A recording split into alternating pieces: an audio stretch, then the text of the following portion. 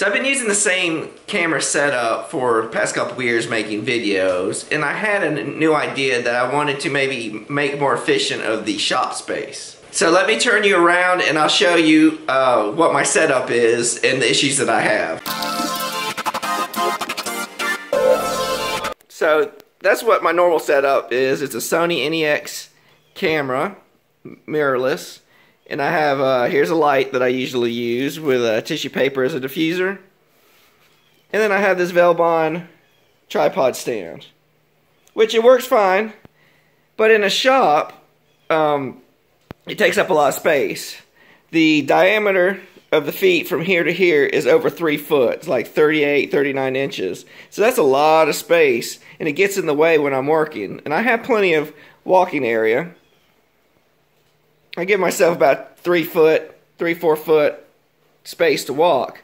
But trying to set this down and have enough room, it takes a lot of uh, space. So what I was thinking of, instead of using a tripod, I wanted to do some type of monopod with a smaller footprint um, wheelbase.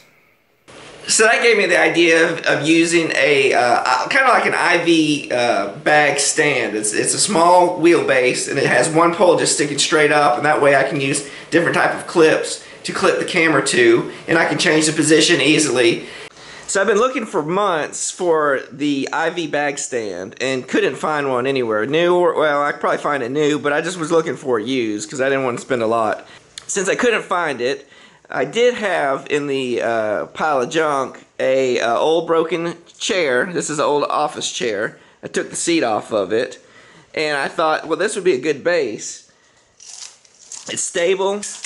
The uh, diameter of it, I haven't even checked it out yet, is about 22 inches. So it's definitely going to be space saving, and I could roll it around and it won't get in the way.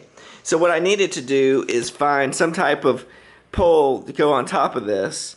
So the top is an inch here and it does flare out a little bit, but I've had a difficult time finding a pipe that would slide over the uh, top of it uh, easily. So what I did find that was close, let me put you on the ground here.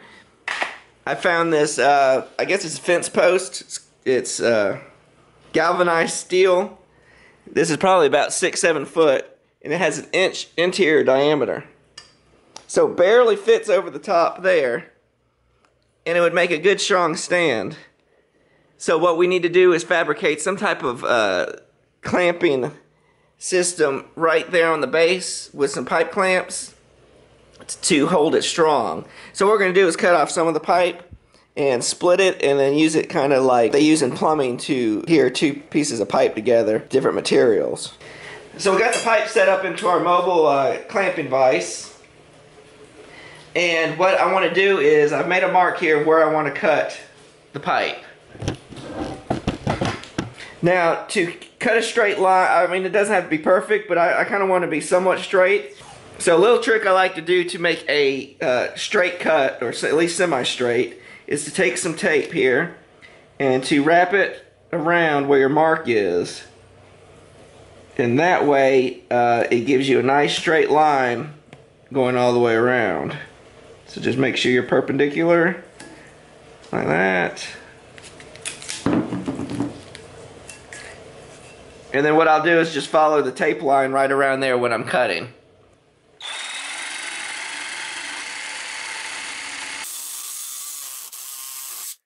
So now you can turn it and you can just follow, keep following the tape line. And it's a lot easier to do this than to try to draw a circle all the way around with a marker.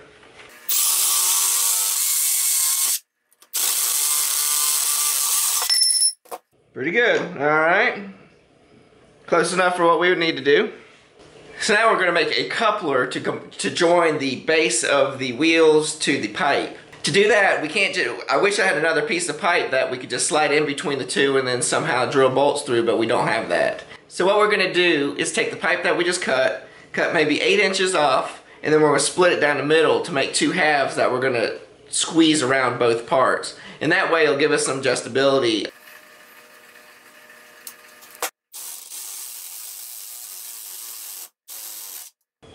And that's how you break a jigsaw blade. Let me go find another one. Alright, we got a new blade in. Let's keep going. I'm going to turn the pipe here. Now we need to split this uh, down the middle on both sides. Instead of using the jigsaw, I think I'm going to try to use the uh, metal cutting wheel. And I'm going to wear a mask too because here again I'm going to use the tape to create a straight line.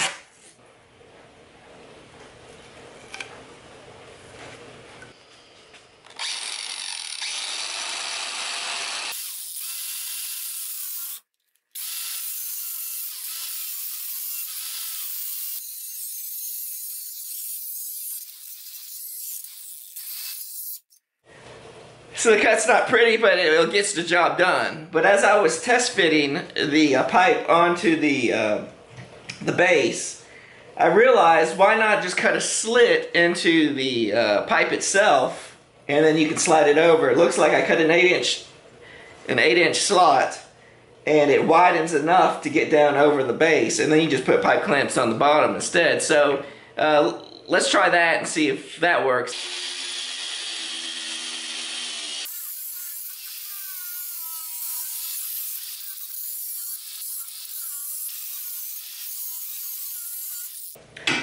Now that we got the pipe cut, let's see if we can raise this up without hitting the ceiling here.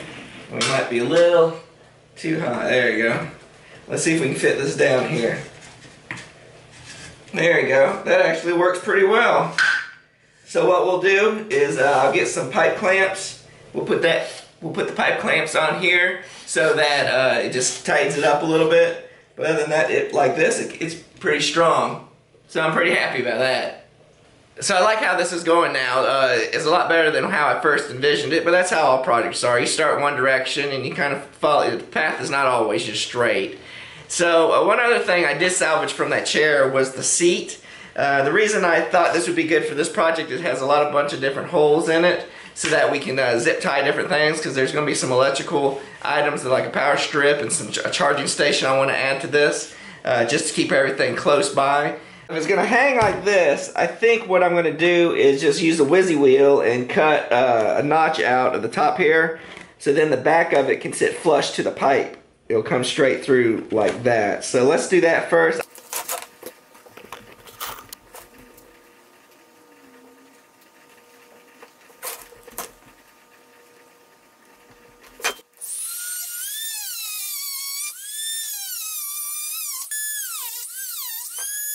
So now with a couple of zip ties, we'll stick that through. We'll do it from the back side to make it look neat. There we go, we'll do that. So we'll see how tight this holds. If not, we can always just take some screws and screw it in.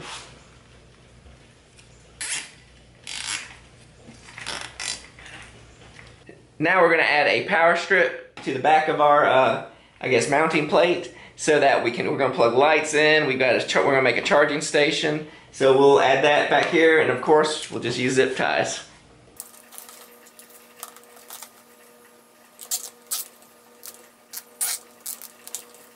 So now that we've got our power strip set up, I want to uh, arrange all the electrical connections that we're going to need for like charging stations and running wires to our action camera so we can do longer shots for electronics, we've got uh, our action camera battery charger. This is for my uh, Sony, my main cam, primary camera battery charger. We've got the wires that will connect to here.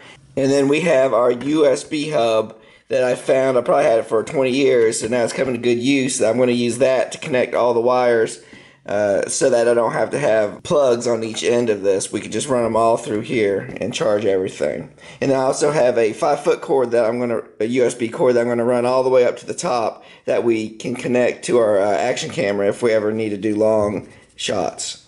So I have some of this 3M tape. It's their like more extreme foam tape that we'll add to the back of the USB hub. And then also uh, zip tie it to the back of the chair also.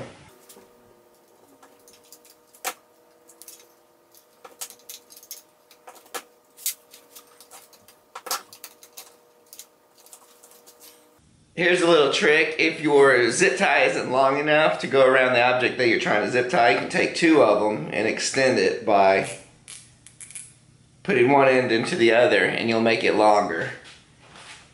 So now that we got the USB hub attached, I want to make turn around and make on the front part a shelf, and that's where we're going to attach all our electronic chargers. I found a piece of scrap. This is a PVC board. I use it for sign making. Uh, it's a little bit lighter, but you can always use MDF or plywood. It's not a problem. So what I'll do is I'll cut it in half. I'll make a shelf out of it, uh, screw it together, and then we'll mount it to the uh, top there. And then we can run all our wires. Now we're just going to pre-drill some holes for the screws that we're going to attach the shelf with.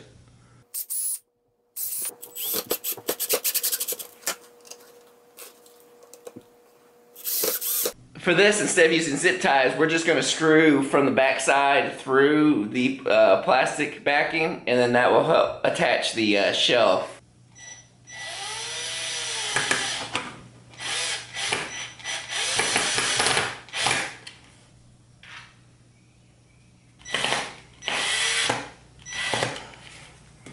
There you go.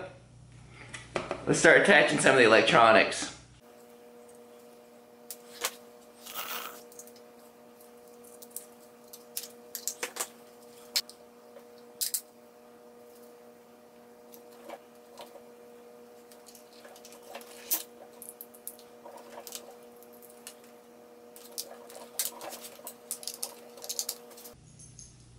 So now we're going to move on to attaching our uh, camera and our light to our post. And the way we're going to do that is using these two inch clamps. Um, I have a video on making these. Um, this, you can buy bandy clamps or you can just make your own using the uh, inner tube with these two inch spring clamps. And if you want to see more detailed video, I have a link up above. I like to use, I have a lot of uh, quarter inch by 20 uh, screws and bolts and then I have a bunch of fender washers and nuts and lock washers to go uh, along with that that I keep in stock in the shop because I use it a lot on a lot of different projects. So here's my uh, light source. We've just got a regular uh, spring clamp uh, work light and then I covered it up with some tissue paper as a diffuser.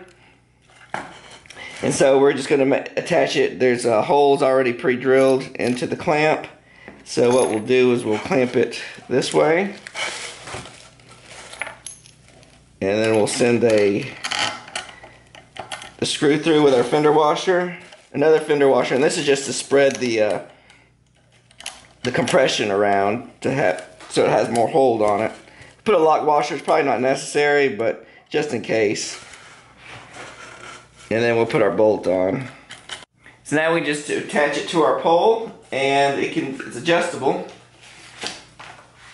So we can just move it around and point it in whatever direction we need it and then we can slide it up up and down depending on where what kind of shot we're taking. Slide up and down the pole. So for the camera mount I decided to repurpose this old tripod. I just need the uh, top swivel part of it. We just need to take the legs off.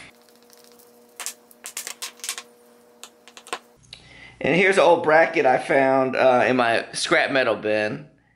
And it fit just perfectly. So I took, uh, drilled a hole at the top so we can mount this. But before I, before I did that, I drilled an extra hole in the clamp. So that we'll have two points of contact when we're screwing the, uh, the mount to the clamp. There you go. We'll screw that in to tighten it up just a little bit.